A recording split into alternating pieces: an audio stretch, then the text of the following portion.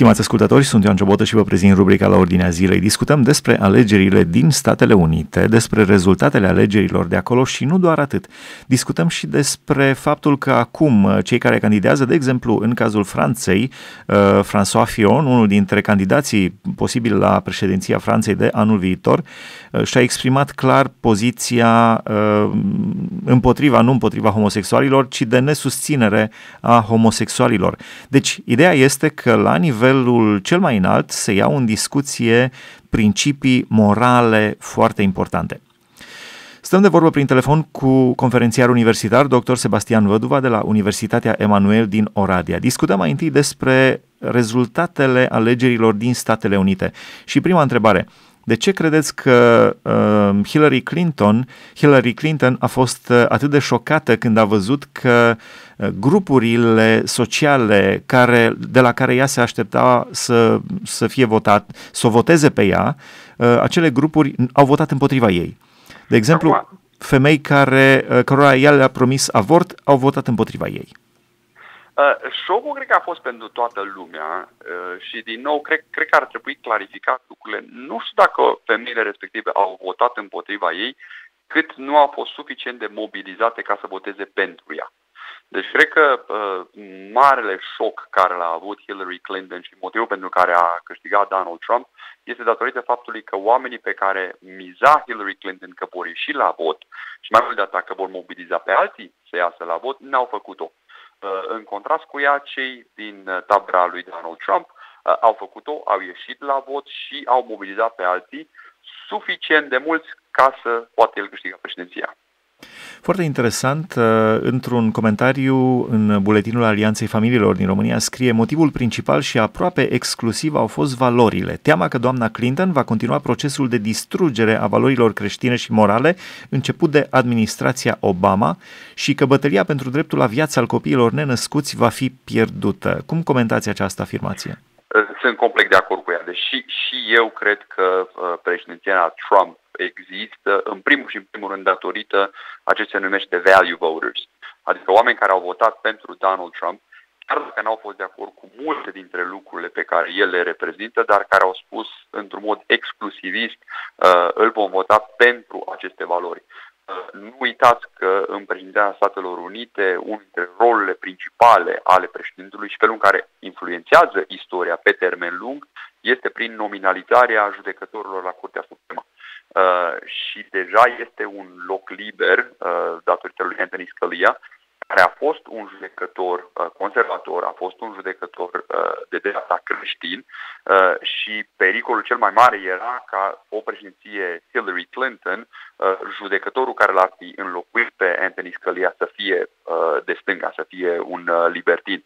Uh, deci odată a fost această poziție a judecătorului uh, Anthony Scalia, plus că în Curtea Supremă, la ora actuală sunt trei judecători peste vârsta de 80 de ani, care sunt șanse bune ca în următorii patru ani de zile să uh, fie înlocuiți.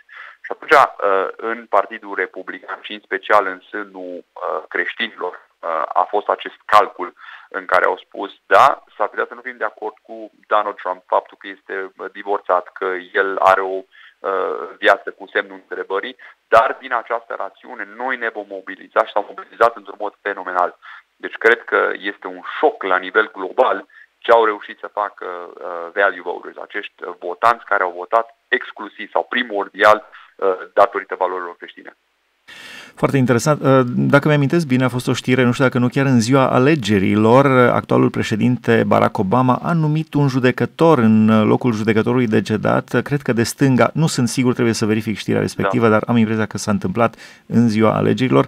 Dar uh, uh, continuând pe, pe voturile care au fost date sau nu au fost date, au fost pentru sau împotrivă, doamna Clinton sperea să primească voturile femeilor, dar nu le-a primit. Majoritatea femeilor au votat împotriva ei. 53% din femei femeile albe au votat pentru Trump, cu toate că Trump a avut niște afirmații urâte legate de femei. Și cu toate că doamna Clinton a promis grădinițe pentru copii, salarii egale pentru femei, avort și drepturi pentru homosexuali. Chiar mai șocant, pentru ea 62% din femeile albe fără diplome universitare au votat pentru Trump. Pentru ele, valorile morale creștine ale familiei și în special dreptul la viață al copiilor nenăscuți au fost factori decisivi care le-au convins să voteze pentru Trump, în ciuda faptului că 78% dintre femeile care care l-au votat pe Trump au declarat că au fost jignite de afirmațiile lui misogine. Da. Da, și iarăși unul dintre paradoxul politicii americane uh, în, în care au avut această abilitate cei din Partidul Republican de dreapta să depășească anumite lucruri greu de imaginat uh, de dragul anumitor valori care erau mult mai importante. Deci, uh, pentru ascultătorii noștri, cred că e important să înțeleagă această scară valorică în care au spus femeile creștine și foarte mulți dintre, dintre creștini îl vom accepta, îl vom vota pe Donald Trump, chiar dacă sunt anumite lucruri în pachetul Trump, dacă pot să-l numesc în felul acesta, cu care nu suntem de acord. Declarațiile lui și alte lucruri. Uh, totodată și uh, economia a avut un factor foarte important. Uh, ați subliniat acolo că sunt femeile albe fără uh, facultate, uh, care au fost, de fapt, blocul de votanți cel mai puternic pentru Donald Trump și, de fapt, votul pentru Donald Trump a fost un vot împotriva lui Barack Obama. Deci, uh, cred că poporul american uh, a hotărât să nu continue politicile lui uh, Barack Obama și, mă rog, asaltul împotriva familiilor, drepturile pentru căsătoriile homosexuale. Și aici aș vrea să, să fac o clarificare foarte importantă. Ca și creștini, noi nu suntem împotriva homosexualilor, suntem împotriva căsătorilor homosexuale homosexualii sunt creați de Dumnezeu, uh, Dumnezeu îi iubește și uh, își dorește să se pocăiască aceștia. Uh, nu suntem împotriva lor, suntem împotriva căsătoriilor, care este un act public, nefiresc, lăsat de Dumnezeu să fie între un bărbat și o femeie.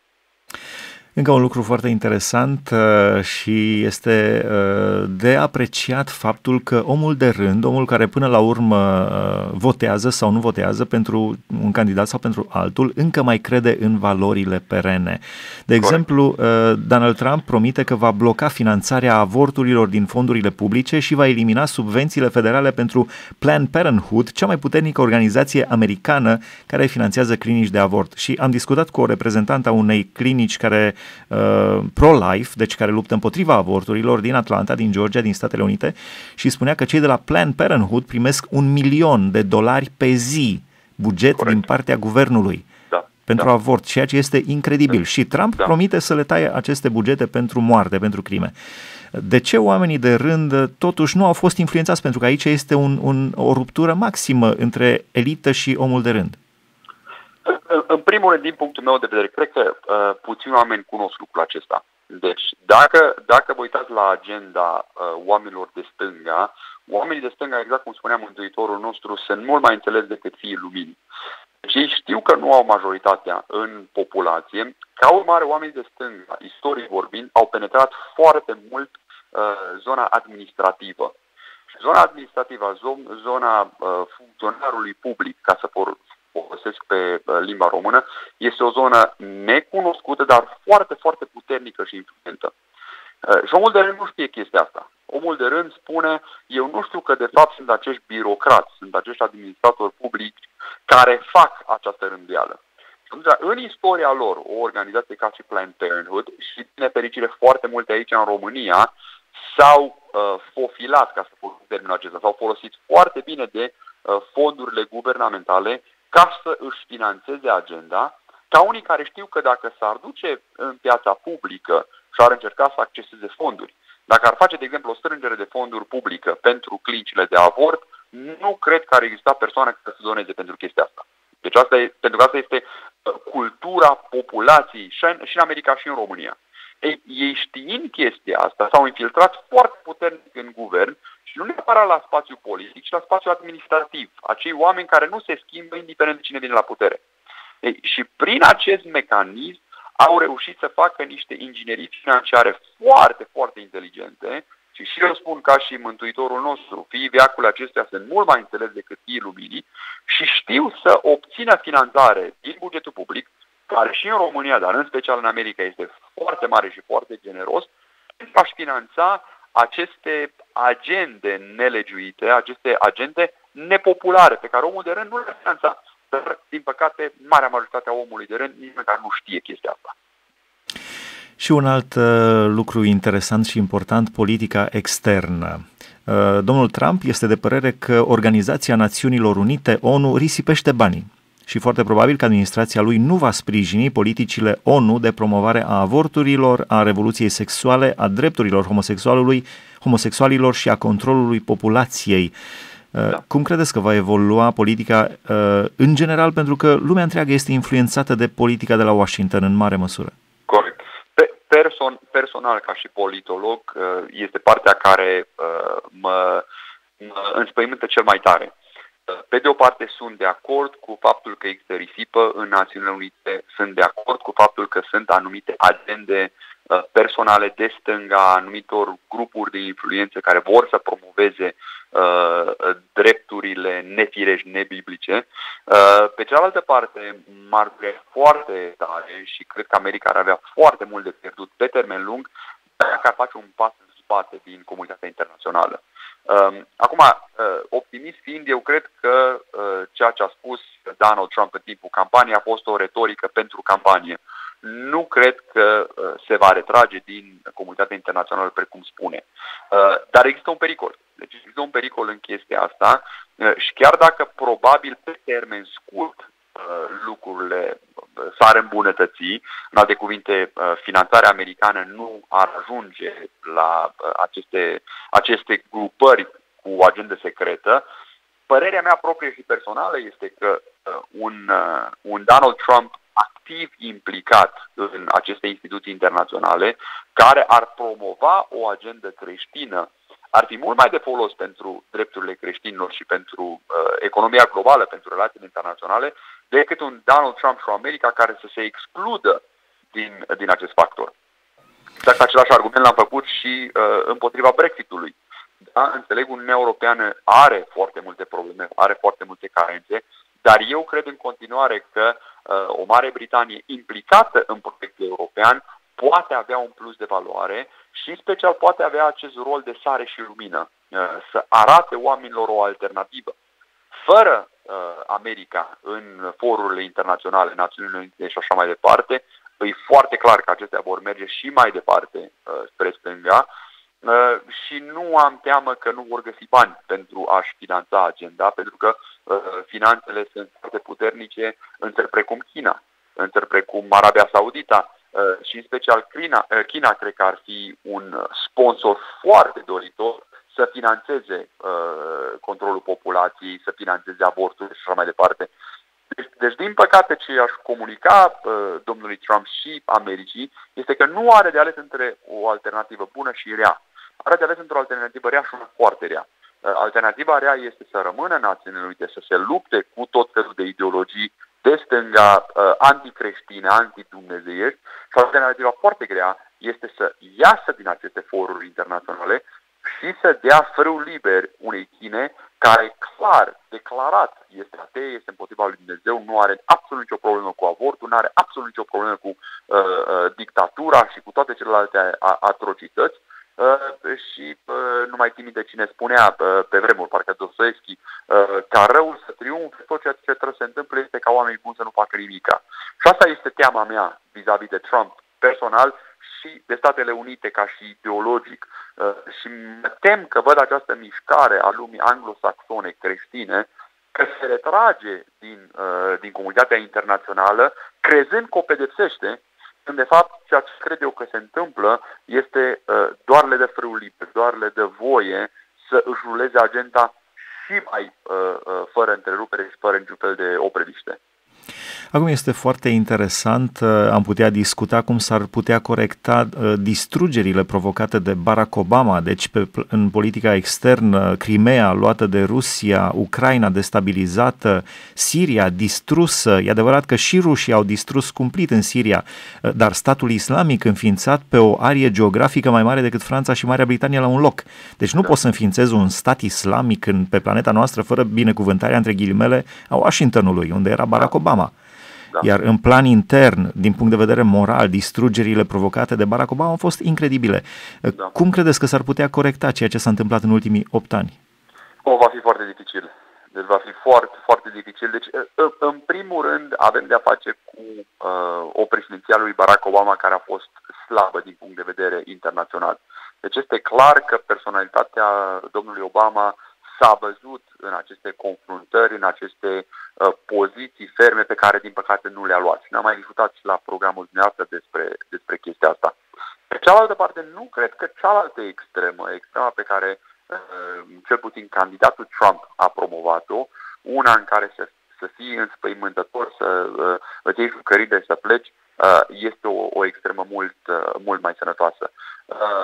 Cred că secretul este acest conflict în primul și în primul rând, acest conflict trebuie luptat la, la domeniul ideologic. Și eu cred că această problemă o are Occidentul începând cu sfârșitul anilor 90. Deci părerea mea este că Occidentul a pierdut uh, bătălia, uh, în primul rând ideologic, a pierdut bătălia pentru inima și pentru mintea uh, moderaților din uh, sânul islamic uh, și nu au reușit să evangelizeze, dacă pot să folosesc termenul ăsta. Și nu mă refer aici la, la uh, mecanismul clasic să te duci și să încreștinezi. Și mă, mă refer aici la modelul în care să exprim și să uh, articulezi care sunt beneficiile unei economii de piață, unui uh, Occident care să integreze. Deci, neintegrându-i pe acești uh, islamiști în perioada anilor 90, avem perioada anilor 2000, când au fost cele două mari războaie în Iran și în Afganistan, ambele care au fost executate într-un mod îngrozitor, și aici s-au făcut foarte multe greșeli din partea uh, uh, Occidentului, în care nu a fost înțeles mentalitatea uh, musulmană, nu a fost înțeles uh, uh, inima, spiritul musulman și, bineînțeles, Barack Obama care a venit uh, în ideea aceasta de uh, izolare. Uh, și iarăși, foarte, foarte interesant, uh, eu ca și politolog, mă uit la promisiunile candidatului Trump, care, din punct de vedere internațional, sunt o completare, sau mai rău de atât, o finalizare a politicii începute de Barack Obama. Pentru că în 2008 Barack Obama s-a promis. El a spus, eu mă voi retrage din războiul din Afganistan, eu mă voi retrage din războiul din Irak, uh, indiferent de costuri, indiferent de uh, repercursiuni, uh, și vine Donald Trump în anul 2016 și spune, eu voi finaliza lucrul acesta. Uh, eu nu voi fi implicat nici măcar cât a fost Barack Obama în, această, uh, în, acest, uh, în, în acest spațiu internațional, ci pe mine mă interesează doar America pentru americani. Pentru noi este important doar în America să se facă America din nou glorioasă, să crească din nou America, ceea ce îmi pare foarte rău, nu se poate. Pentru că politicul nu are atât de mare forță împotriva tehnologiei și ceea ce se întâmplă în America și, de fapt, în tot Occidentul la ora actuală, din punct de vedere economic, este un rezultat al uh, inovațiilor tehnologice a anului 90. Deci, iată, paradoxal, uh, uh, Donald Trump promite o uh, transformare radicală a președinției Barack Obama, când, de fapt, eu cred că uh, el va continua această politică de uh, neimplicare, de retragere, uh, și să nu uităm, uh, aceste mesaje sunt interpretate de dușmanii Occidentului, dușmanii Americii, specific pe care l-a spomenit statul islamic, uh, ca și uh, un semnal slăbiciunii și ca o motivație și mai puternică să își ruleze agenda și să meargă mai departe cu lucrurile pe care ei cred că trebuie să se întâmple. Cum vedeți, uh, spre finalul discuției noastre, cum vedeți uh, mersul uh, lumii în general? Mă gândesc la economiile emergente, la BRISC, Brazilia, Rusia, India, Chin, Africa de Sud și China, care vin puternic din urmă și nu doar atât, deci nu economiile acestor state.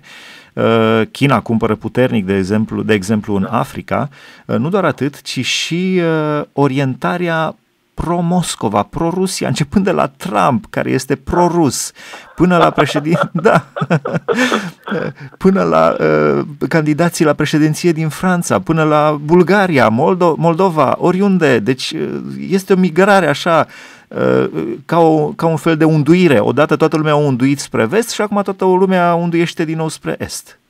Acum, cred, cred că e mult spus să spunem că Donald Trump este pro-Moscova sau că restul lumii se Mă rog, este, la, este la prieten Moscova. cu Putin și poate e mai bine decât să fie dușman. Deci eu cred că ce, ce se întâmplă este, uh, uh, în primul rând, cred că e personalitatea lui, lui Putin, Vladimir Putin, uh, și are această personalitate foarte condurată și cred că este o chestie psihologică. Deci, cel puțin în ultimii 8 ani de zile, uh, Occidentul a avut parte de niște lideri foarte șterși. Uh, în primul rând Barack Obama, care el în tipologia lui, în personalitatea lui, uh, era mult mai mult un profesor universitar decât un lider. Uh, Angela Merkel, același model de, de lider relativ șters, David Cameron și mulți alții, și cred că oamenii se uită la cineva ca și Vladimir Putin și iarăși cu toate neajunsurile lui, cu toată dictatura lui și pot să spun cu toată responsabilitatea nebunia lui, îl apreciază pentru fermitatea, pentru siguranța pe care o are, pentru ideea aceasta în care reprezintă ceva. Și cred că ce se întâmplă la nivel global, există un grad foarte mare de nesiguranță care este adus în viața oamenilor datorită tehnologiei.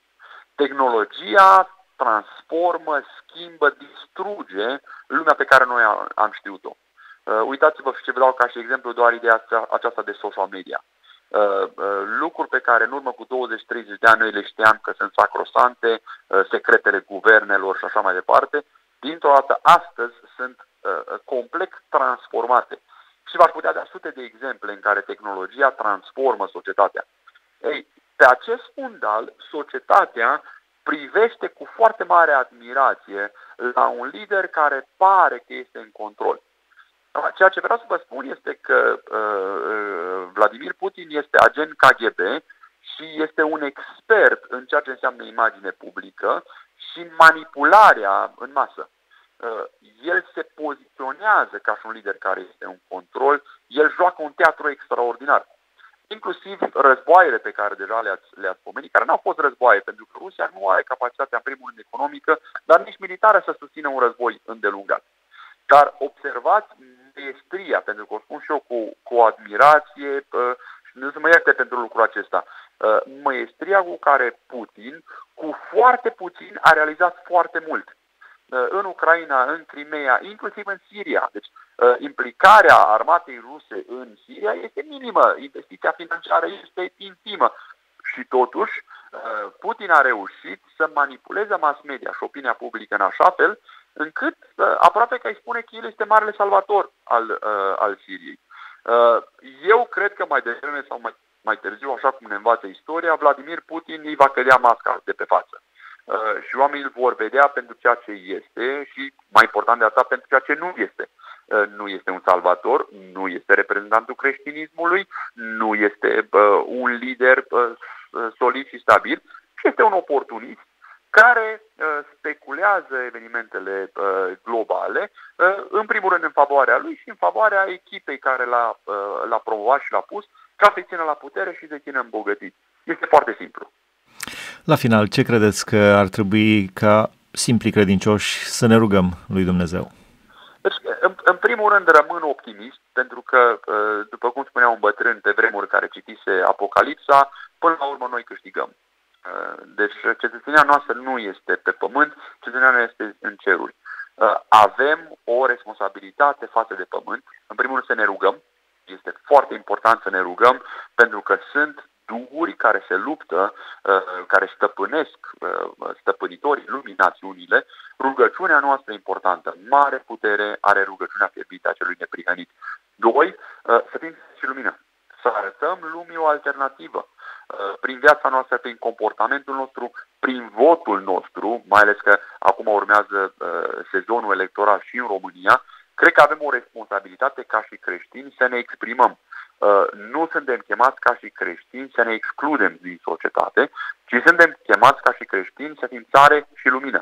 Uh, și al treilea lucru pe care l-aș spune ca și creștin și l-am mai repetat, îmi pare foarte rău că nu avem suficient de mulți creștini, oameni temători de Dumnezeu, care să fie uh, la pupitul de comandă a lumii, care să se implice și nu mă refer aici să fie mari stăpânitori, să fie mari, uh, Doamne ferește, dictatori, ci mă refer în administrație publică, în spațiu juridic, uh, în spațiu legislativ, în spațiu de oameni influenți. Avem câțiva și mulțumim Dumnezeu pentru ei, dar părerea mea este că nu avem suficient. Și rugăciunea mea, dorința mea, munca pe care eu o fac aici la, la Universitatea Emanuel este să chem cât mai mulți dintre creștini, dintre pocăiți, să fie sare și lumină în spațiile uh, influente ale lumii acesteia. Dumnezeu să ne ajute, mulțumim frumos, Dumnezeu să, să ne ajute să îi fim plăcuți Lui în primul rând amin. și apoi El să-și facă voia în viețile noastre. Amin, amin. Mulțumim frumos, stimați ascultători, am stat de vorbă prin telefon cu domnul conferențiar universitar, dr. Sebastian Văduva de la Universitatea Emanuel din Oradea. Am discutat despre rezultatele alegerilor din Statele Unite, despre mersul lumii în general. Aici se încheie rubrica la Ordinea Zilei. Sunt Ioan Ciobotă, vă mulțumesc pentru atenție, Dumnezeu să vă binecuvânteze.